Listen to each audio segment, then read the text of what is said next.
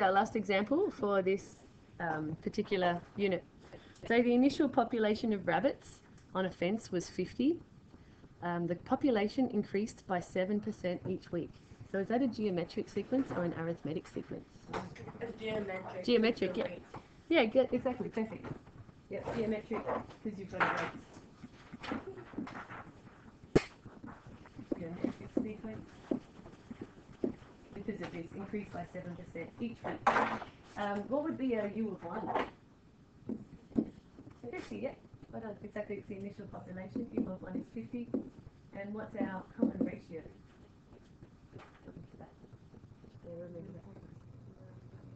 Close? Did you say 0.07? Really, really close? You're thinking like that? Because remember, it's all relative to 100%. So what's 100 plus if it's increased by 7%? Zero point nine three. Yeah, yeah, exactly 1.07. So that's what we're thinking of in terms of rates, like relative to 100%. If it was a decrease by 7%, it'd go down by 7%. Ninety-three. Yeah, there'd be 93, yeah, exactly. So 0.93 would be the ratio if it was a decrease. Um, so yeah, remember always relative to 100%, because 100% keeps it sort of stable. And then if it increases by 7, 1.07. Um, right, um, how many rabbits were present after 15 weeks? So according to this one, what's our N? Yeah, N is 15. And just check, is it about weeks, or is it about months, or is it about years? And they do say each week. They for this one, N is 30. So those two questions are nice and straightforward. We just have to apply the formula. The only issue really with that one would be is if you applied the wrong formula. So do they want to know the U of n or the sum? I guess. Wait, how long would it take for the population to reach? Oh, this one, yeah, A. And how many yeah. rabbits were present after? In the 15th, after It's 15 not- weeks? It's not seven. It's the other one. Yeah, it's a U of n. Because it is a tough one in terms of this one. Like, is it the U of n or is it the sum? Like, they want to know how many rabbits in 15 weeks.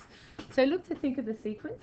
The sequence itself, the U of n itself, tells you what the total number of rabbits was um, in this case. So it's not like, you know, there was um, 50 rabbits and then there was, um, they all died, like, you know, they all ran away and came back and then there was another 57 rabbits or 53.5 rabbits. It's more like, you know, the total population.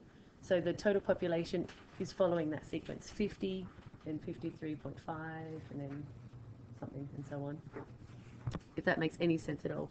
So the U of n in this case is giving us already what the total population is, which is hard to see. Um, also, oh, that's right. And remember, uh, um, this happened a bit for geometric sequences last week. Remember that for geometric sequences, word problems often need to consider the context of the problem and use values of n which might be one more than we usually would. Oh, so you need to be exposed. Yeah, remember sometimes we had to think, okay, so it's the beginning of the um, 16th year then, that kind of stuff. So, because remember our formula is u of 1 after the n minus 1. Um, and sometimes, so after 15 weeks, it's like we've multiplied by 1.07 15 times. So you could, instead of using this formula, just use u of 1 to the power of r, and then instead of n minus 1, you might have to use 15. So this was a problem last week, um, last lesson in some geometric problems in particular um, had this issue, where in terms of like the number of years or the number of weeks, we've actually instead got to use that number instead of n minus 1. But it sometimes happens in geometric word problems. Because um, when you think of it, uh, so it starts off with 50. So if you start off with 50, um, after that's in, at time 0, so after one week, you times by 1.7. After two weeks, you would have times that by 1.7 again after three weeks by 1.07 again, which in that case is u of 1 equals r to the power, sorry, one was saying u of 1, u of n. So u of 3, for example, would be um, the initial population, times 1.07 to the 3, not 3 minus 1, because notice you split it after three weeks, so that's at time 0, so one week after two weeks after three weeks. So in that case, it makes more sense that you're timesing it or raising it to the power of 3, not to the power of 3 minus 1. Yeah, so sometimes feel free to like kind of map this out. If it's something about in the number of weeks and it's a geometric sequence, you might want to have a little experiment and think, does it make sense to do 3 minus 1? And in this case, no, it doesn't, because the number of times you multiply by 1.07 has to be the exponent, or else we'll be one week short. Um, so you probably have something similar. Um, so instead we're going to have to do, so you can either think of it as just to the power of 15 or to the power of 16 minus 1. It's like the beginning of the 16th week. Did you- someone have a question? Jack, can you explain again why it's why we don't subtract one? Yeah, exactly. Why we don't subtract one when the formula normally is subtract one. Um, so say that if it was in three weeks' time, so sometimes have a little think about it. Okay, what if it was in one week time or in three weeks' time? So 50 was almost at time zero rather than at time one, wasn't it? So after one, that's at time zero, so after one week, it would have to have been 50 times 1.07. And then after two weeks, that answer times 1.07 again. And after three weeks has passed, it's that answer times 1.07 again. And if you were to write that kind of as a formula, it'd be 50 times 1.07 to the power of 3. Oh, okay. Yeah, so after three weeks, you'll need an exponent of 3. Yeah, so if you're having trouble, like these are big numbers, so you don't have to write out 15 times. But you could experiment with thinking, okay, if it was two weeks or three weeks, what would it have to be? If I did it manually, how would it look? That kind of thing. So sometimes it and that tends to some where you do see this problem tends to be with um, geometric um, word problems. Not so much. I don't see it so much with arithmetic.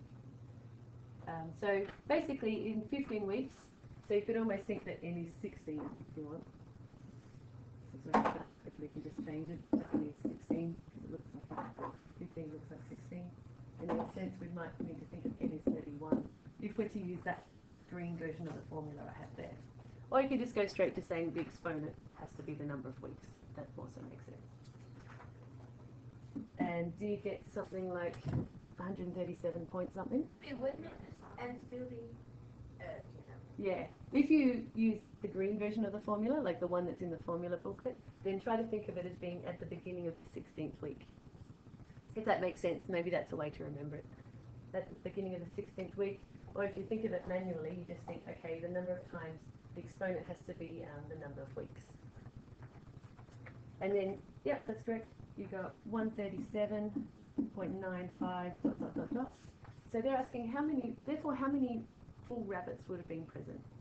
Because it's a number of rabbits. Yeah, so 137 rabbits. So in this case, because it's a word problem, we need to kind of think of um, the context of the problem. So this is AI. Steve. Let's do AI, human, or whatever. So same thing, we just need to plug it in. So if it helps you, say at the beginning of the 31st week.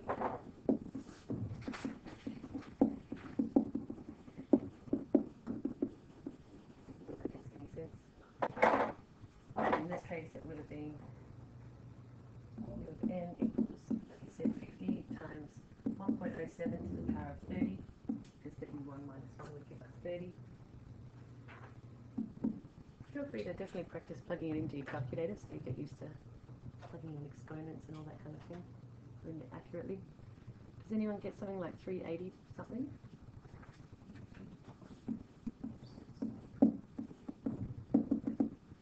And so how many total rabbits would there be? 380. Yeah, that's right. Because in that case, we don't have 381 rabbits.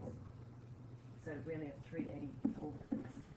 Even though 0.61 rounds up to 381, in the context of the problem, we only have 380 live rabbits. I know it's really close. Now we're going to have one where we're going to need to solve for n. How long would it take for the population to reach 500? So what um, in the formula, what in the formula does the 500 represent?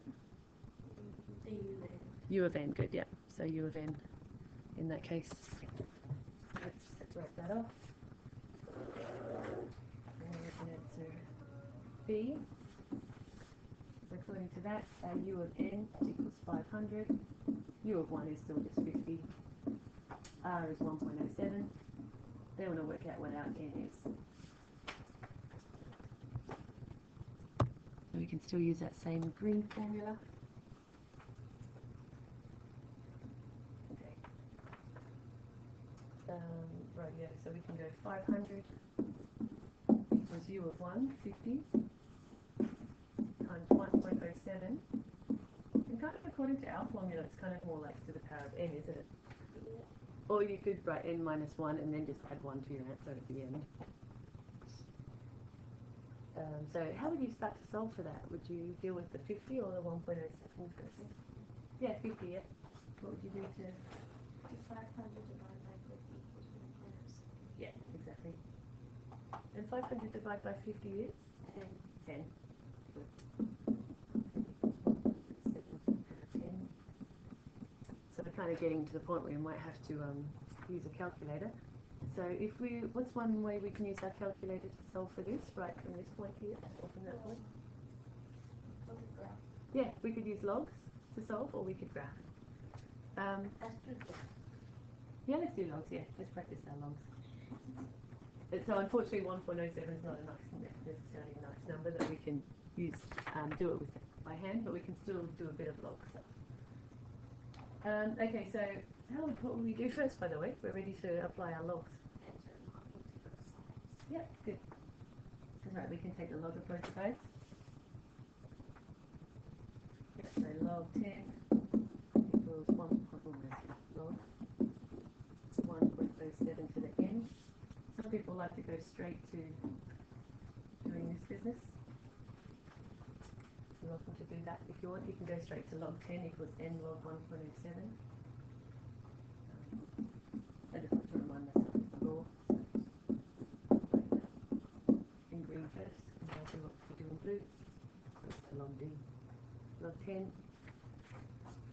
That's watching. Log 10. It's interesting. What is log 10? One. Yeah, log 10 is 1, isn't it? Because log, the regular base of the log is 10. And 10 to the power of what equals 10? It's 1. Happened again.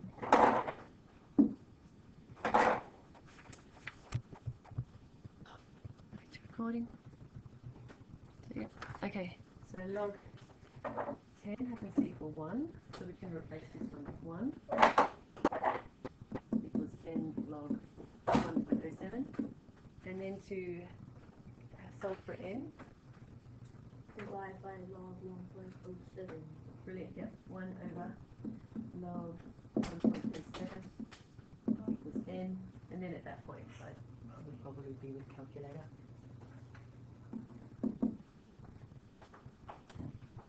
Do you get a particular number? Do you get a whole number or do you get a decimal? 3.03. Ah. I mean, 3.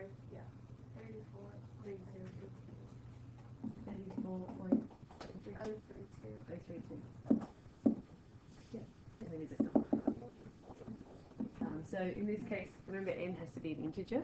Do we need to round it up or do we need to round it down? Yeah, correct. Because what the question was, um, after how many weeks will it have reached 500? So at 34 weeks, it won't have reached 500. It'll be just under. So you're right. In this case, in the context, we need to round up. 35 weeks. So lots of having to read the context of the problem and make decisions based around that.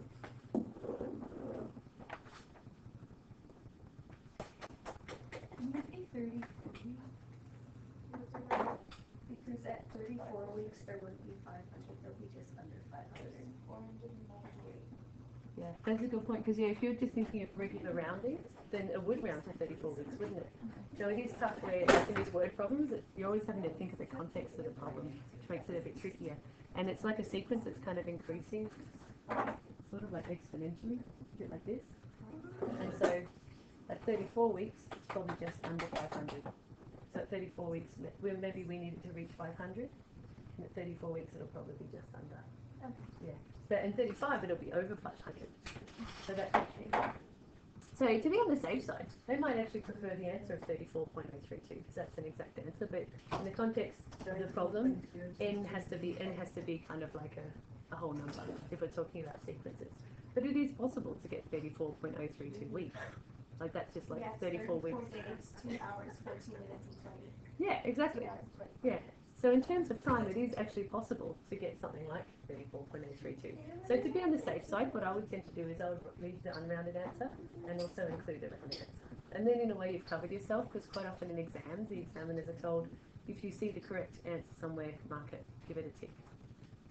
So by writing both, you're covered because examiners are given a bit of flexibility where even though you might have quoted that as your answer, if they can see this in your working, you're allowed to mark that as correct. If that, if 34.032 was considered the correct answer. Or round it to 366, 34.0. Write all possible answers. You think yeah, at some point you're going to have to quote a particular answer and write it in the answer spot. But yeah, as I said, like they can be told if you see this answer anywhere, mark that one as correct. So I would go with that.